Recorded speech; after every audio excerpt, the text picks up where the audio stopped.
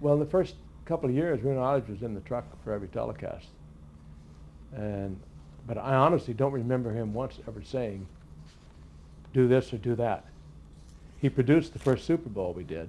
I, I can't quite recall the year that was. But that was later in, you know, uh, like 10 years later before we got the Super Bowl. Uh, in one of the contract negotiations, he negotiated in uh, doing the Super Bowl on every third year.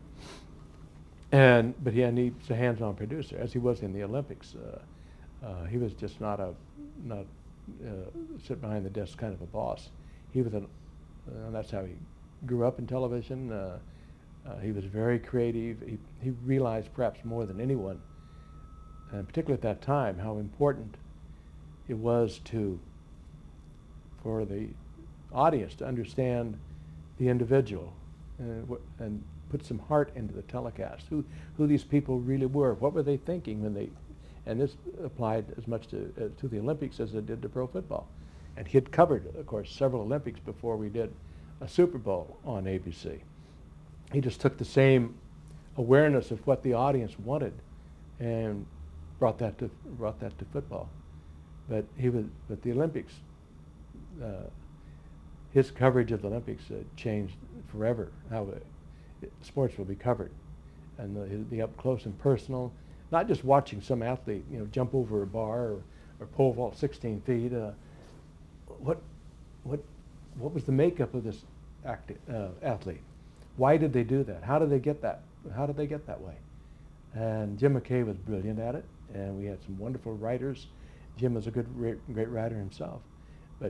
People walked away from a telecast of an Olympics or a, a Roone Wide World of Sports segment, uh, me doing Evel Knievel or something like that.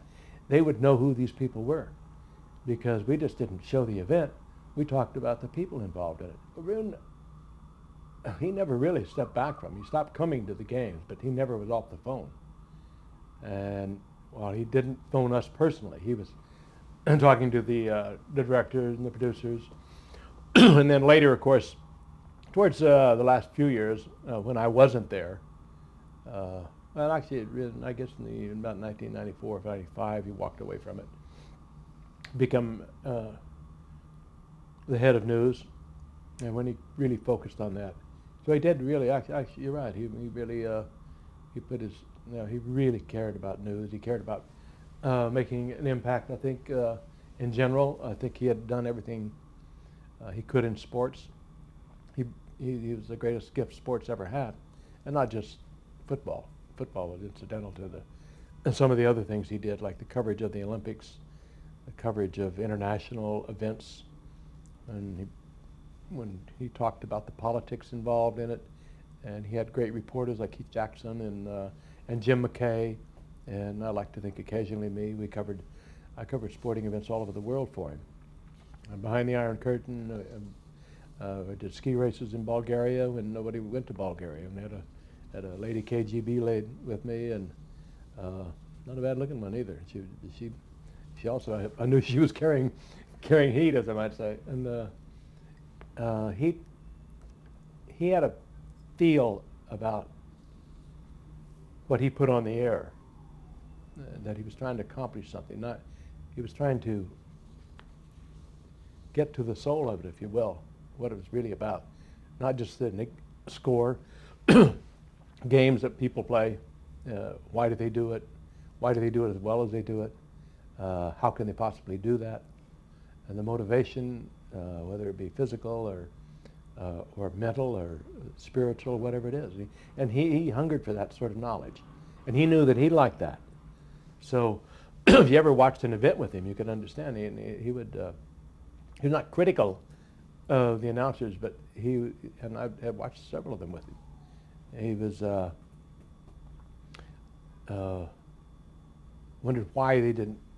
He wanted more information. He wanted more information, and I think the, he also was aware too that too much too much information could you get blurry-eyed over it.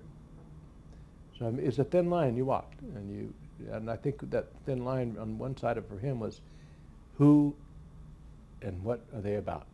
And why are they able to do this? And that's, that's what he wanted to know after he saw an event.